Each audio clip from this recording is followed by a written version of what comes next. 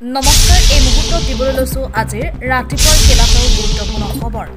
আজি হৈছে আগষ্ট মাহৰ বাৰ তাৰিখ। অসমৰ লগতে ভাৰতৰ বিভিন্ন প্ৰান্তৰ পৰা কেইবাটাও গুৰুত্বপূৰ্ণ খবৰ যুগুত কৰা হৈছে আৰু এই ধৰণৰ খবৰসমূহ নিতৌ চাবৰ বাবে চেনেলটো ছাবস্ক্ৰাইব কৰি ভিডিঅ'টোত এটাকৈ লাইক কৰি দিব। আহক তেন্তে প্ৰিয় দৰ্শকসকল আজি ৰাতিপুৱাৰ খবৰকেইটা আৰম্ভ কৰোঁ। আজি ৰাতিপুৱাৰ প্ৰথমটো খবৰ।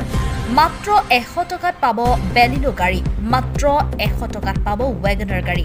আমি পুনৰবাৰ জনাইছোঁ মাত্ৰ এশ টকাত পাব বহুকেইখন গাড়ী।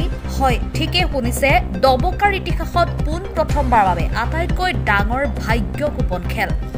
Jungle block socio' economical development ছ'চাইটিৰ উদ্যোগত দিয়া হৈছে। আপুনি ঘৰতে বহি অনলাইনত ভাগ্য লটাৰী কুপন বুকিং কৰিব পাৰিব।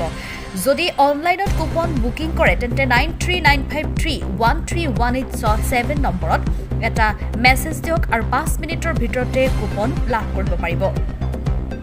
আমি পুনৰবাৰ জনাইছোঁ যদি ঘৰতে বহি ভাগ্য লটাৰী কুপন বুকিং কৰিব বিচাৰে তেন্তে nine three nine five three one three one eight ছেভেনত যোগাযোগ কৰক। খেলখনৰ প্ৰথম পুৰস্কাৰ বেলিনো ডেল্টা দ্বিতীয় পুৰস্কাৰ ৱেগনাৰ জেড এক্স আই তৃতীয় পুৰস্কাৰ Alto K ten V X I plus চতুৰ্থ পুৰস্কাৰ Pulsar N S one sixty C C পঞ্চম পুৰস্কাৰ আপাচি বাইক ষষ্ঠ পুৰস্কাৰ Pulsar one fifty C C সপ্তম পুৰস্কাৰ Pulsar N S one twenty five C C অষ্টম পুৰস্কাৰ Ntorq Scooty one twenty five C C নৱম পুৰস্কাৰ Glamour one twenty five C C দশম পুৰস্কাৰ Activa one twenty five C C একাদশ পুৰস্কাৰ Super Splendor one twenty five C C দ্বাদশ পুৰস্কাৰ Honda Shine hundred C C ত্ৰয়োদশ পুৰস্কাৰ এক্সেল হাণ্ড্ৰেড চি চি এই খেলখনৰ তাৰিখ হৈছে অহা ত্ৰিছ ছেপ্টেম্বৰ। আজি ৰাতিপুৱাৰ দ্বিতীয় খবৰ। সমষ্টি পুনৰ নিৰ্ধাৰণৰ চূড়ান্ত তালিকা প্ৰকাশৰ পাছতেই তাৎক্ষণিক প্ৰতিক্ৰিয়া প্ৰকাশ জ্যেষ্ঠ কংগ্ৰেছ নেতা ৰকিবুল হুছেইনৰ অসম প্ৰদেশ কংগ্ৰেছৰ হৈ নগাঁৱত ৰকিবুল হুছেইনে সংবাদমেলৰ সম্বোধন কৰি প্ৰতিক্ৰিয়া প্ৰকাশ কৰে। সমষ্টি পুনৰ নিৰ্ধাৰণক বিৰোধিতা কৰা নাই কংগ্ৰেছে কিন্তু নিৰ্ধাৰণ কৰাৰ পদ্ধতিক লৈ একমত নহয় কংগ্ৰেছ দল এই মন্তব্য নেতাগৰাকীৰ। সমষ্টি পুনৰ নিৰ্ধাৰণৰ ক্ষেত্ৰত ৰাইজৰ আপত্তিসমূহক আওকাণ কৰাৰ অভিযোগ ৰকিবুল হুছেইনৰ।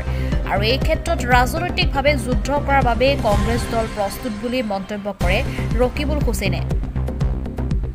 বিজেপি দল আৰু মুখ্যমন্ত্ৰীগৰাকী এইবাৰ সমষ্টি পুনৰ নিৰ্ধাৰণৰ জৰিয়তে প্ৰত্যাহ্বানৰ সন্মুখীন হ'ব।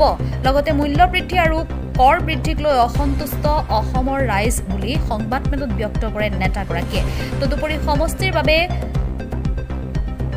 তদুপৰি সমষ্টিৰ নাম সলনিক লৈও অসন্তুষ্টি প্ৰকাশ ৰকিবুল হুছেইনৰ আজি ৰাতিপুৱাৰ তৃতীয়টো খবৰ।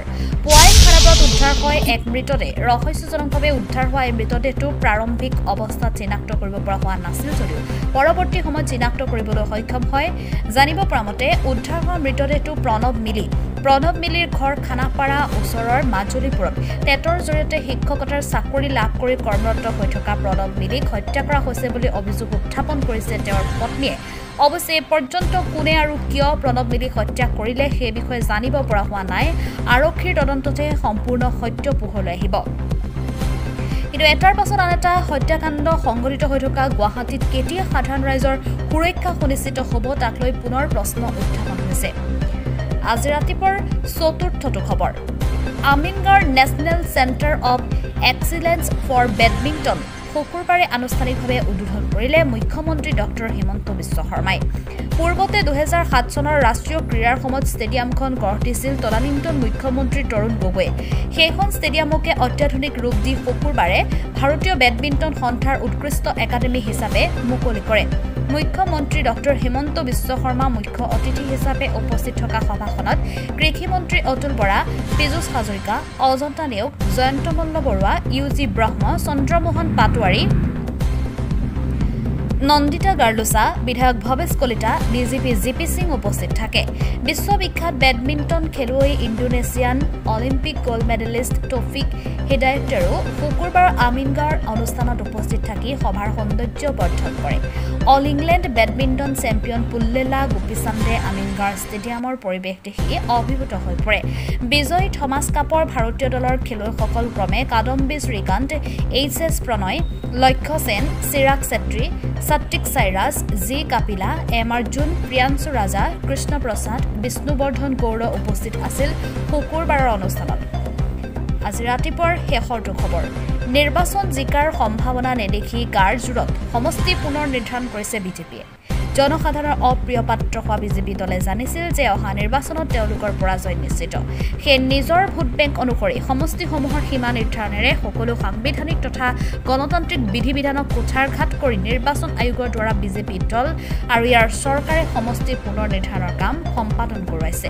এই বক্তব্য অসম জাতীয় পৰিষদৰ।